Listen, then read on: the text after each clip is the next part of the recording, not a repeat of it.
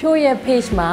comment တွေအများကြီးနဲ့မေးခွန်းတွေအများကြီးတဲကအမေးအများဆုံးမေးခွန်းတစ်ခုဖြစ်တဲ့ဖြိုးသွားတွေဘယ်လိုမျိုးဖြူအောင်လှအောင်လုပ်ခဲ့လဲဆိုတာကိုအားလုံးနဲ့ဒီနေ့မျှဝေချင်ပါတယ်။ဘာဖြစ်လို့လဲဆိုတော့အပြုံးလှလှလေးတွေပိုင်ဆိုင်ခြင်းကလူတစ်ယောက်ရဲ့ကိုယ့်ကိုယ်ယုံကြည်မှုနဲ့ပတ်သက်လာရင်အရန်ရန်ကိုရေးကြည့်ပါတယ်။ဒါကြောင့်မလို့ သွားကျမ်းမာရေးနဲ့ပတ်သက်ပြီးအပြုံးလေးတွေဘယ်လိုမျိုးလှအောင်နေရမလဲဆိုတာကိုအားလုံးနဲ့မျှဝေချင်ပါတယ်။အဲ့ထဲကပထမဆုံးနံပါတ်1ကတော့သွားစေကန်းကိုတစ်နှစ်ကိုနှစ်ကြိမ်အမြဲတမ်းသွားခြင်းပါပဲလူအများစုအသက်ကြီးလာတဲ့အချိန်ကျရင်နောင်တရဆုံးရာကသွားစေကန်းကိုပုံမှန်မသွားခဲ့လို့သွားပိုးစားတယ်ပြီးရင်သွားနာတယ်ဆိုတဲ့ဒုက္ခကိုကြုံတွေ့ရတယ်အဲ့ဒါတွေမကြုံရအောင်လို့သွားစေကန်းကိုအခုတည်းကပုံမှန်သွားပါဘာလို့လဲဆိုတော့သွားကဘလောက်ပဲလှနေပါစေစေကန်းသွားလိုက်တဲ့ဆိုရင်အနေနဲ့မြပြဿနာလေးရတော့ရှိနေပြဿနာကိုကျွန်တော်ဆိုရင်တေးတေးလေးတွေကကူးလိုက်တဲ့အချိန်ကျတော့အရန်ကိုသွားတွေကလှရုံနဲ့မကောက်ကျမ်းမာရေးနဲ့ညီညွတ်တယ်ပေါ့နော်ဒါကြောင့်မလို့အပြုံးလေးလှဖို့ရှာအတွက်သွားစေကန်းကိုပုံမှန်သွားပါလို့အကြံပေးချင်ပါတယ်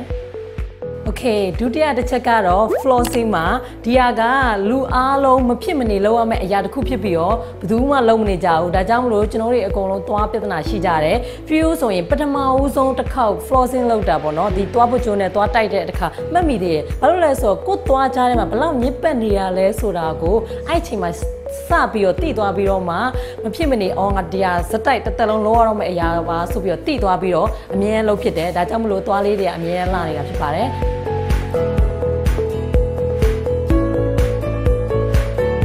so don't forget to floss flossing လုပ်ဖို့ရှာမမေ့ပါနဲ့နော်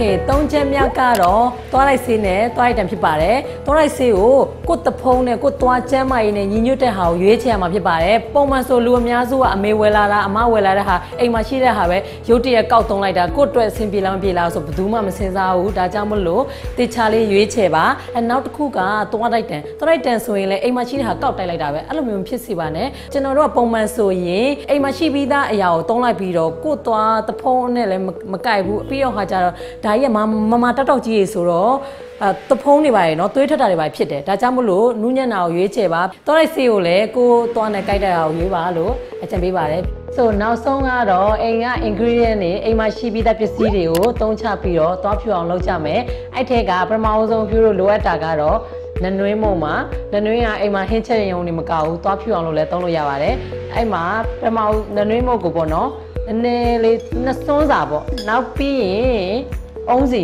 ခေါင်းမလဲရုံနဲ့မကဘူးသွားဖြူအောင်လည်းလုပ်လို့ရတယ်ဘာလို့လဲဆိုတော့အုံးစီမှာအရန်ကိုကောင်းတဲ့တက်တွေပါတယ်သွားချက်မရေးအတွက်ပေါ့နော်အဲ့မှာအုံးစီကိုလက်ဖက်ရည်စွန်းတစွန်းစာပေါ့နော်အဲ့တစွန်းစာထည့်ပြီးတော့ရောသမမွေမယ်